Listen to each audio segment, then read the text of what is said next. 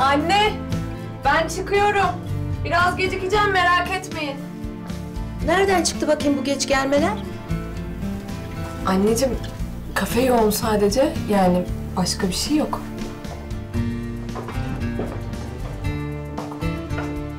Ya, biz şimdi seni iki gün göremeyecek miyiz? Ne yapalım kızım? Gitmek gerek. Hasan Usta büyüğümüz. Ciddi bir ameliyat atlatmış.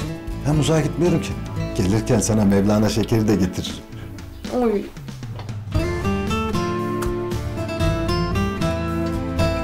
Ama çikolatalı olsun, tamam mı?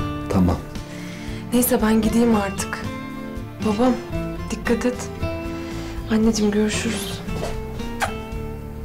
Güle güle yavrum. Kolay gelsin. Allah'ım nazarlardan esirgesin. Son günlerde neşesi pek yerinde değil mi Yaşar? Canım kızım. Allah yüzünü hep güldürsün. Amin.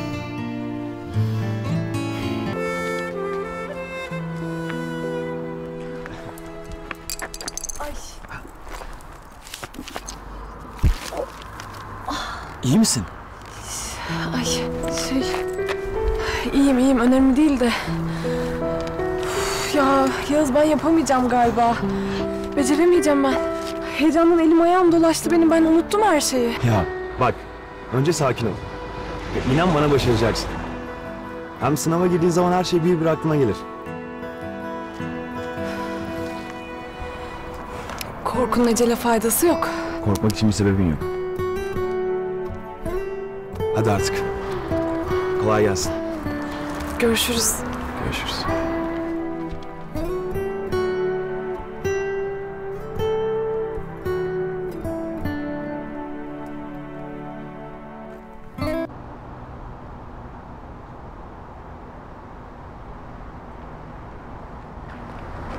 Hadi geçmiş olsun. Nasıl geçti? Kötü mü geçti? Ya çok zordu. Bir dakika. Yaptın ama değil mi? Evet evet iyi geçti. Vallahi mı? Şey... E, akşama açıklanacakmış. E süper o zaman. Ee, gidelim madem. Tamam.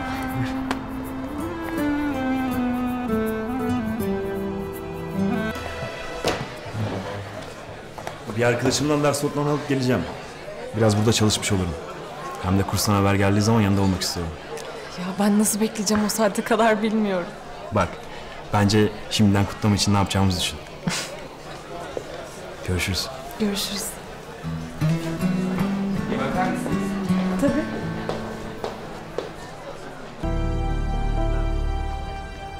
İyi günler. Sınav sonuçları için aramıştım ben. Evet, daha önce de aramıştım. Açıklandı mı acaba sonuçlar? Eylül Uğurlu öğrencinin ismi. Ücretsiz kontenjan hak kazandı mı?